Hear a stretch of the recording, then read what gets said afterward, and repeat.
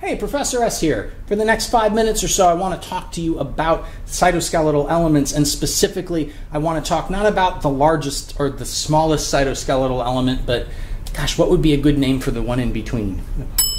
Intermediate filaments. Now, unlike microtubules and microfilaments, which are built from a globular protein, intermediate filaments are built from a fibrous protein. The protein's name is keratin, and if that sounds familiar, like keratin hair, keratin nails, keratin epidermal cells of the skin, keratin in reptilian scales, keratin in bird feathers. Yes, that keratin, same protein.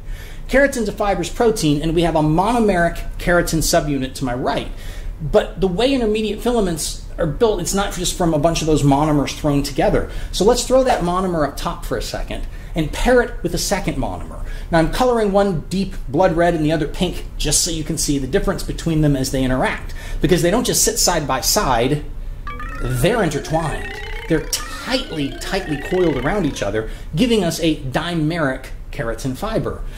Dimeric keratin fibers are used to build intermediate filaments, but not by themselves. In fact, dimeric filaments are often combined into pairs of dimeric filaments called tetramers. And so now you can see up top a tetramer, two sets of monomers or two dimers combined into a tetramer, and we also have the dimeric pair as well.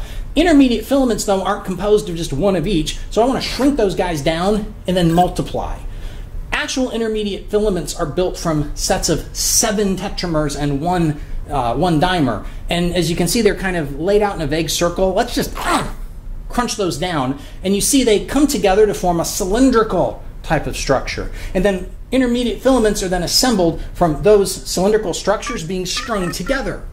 Now, if you're looking at that going, that kind of looks like steel cable, that's a good analogy. We're seeing a lot of supercoiling going on here. We're seeing the, the dimers coiled tightly together, paired into uh, tetramers, and then all of them being bundled together in consecutive units what we're getting at here is a very strong, hard substance in the intermediate filaments. Now, like with all of uh, the all of the cytoskeletal elements, we want to talk about their relative size. So from a cross-sectional view, you can see that intermediate filaments range from about 6 micrometers to around uh, 12 micrometers. That 12 is sort of the upper bound and puts them squarely in the middle of small microfilaments and large microtubules. And then we look at functions. There's always a lot of functions we could discuss, but I always like to zero this in on really just the two to three at most functions that really get encountered frequently uh, at the introductory level in biology. And so, in the case of intermediate filaments, number one,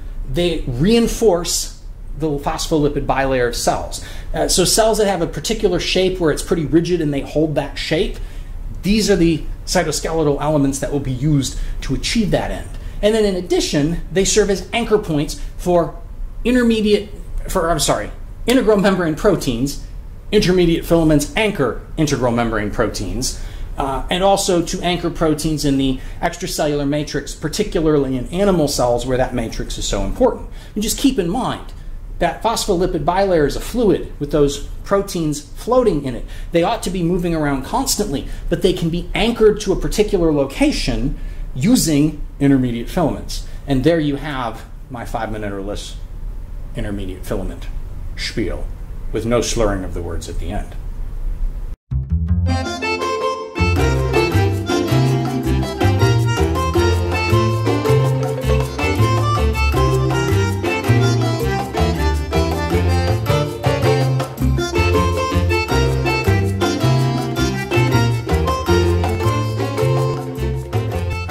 Doing right now?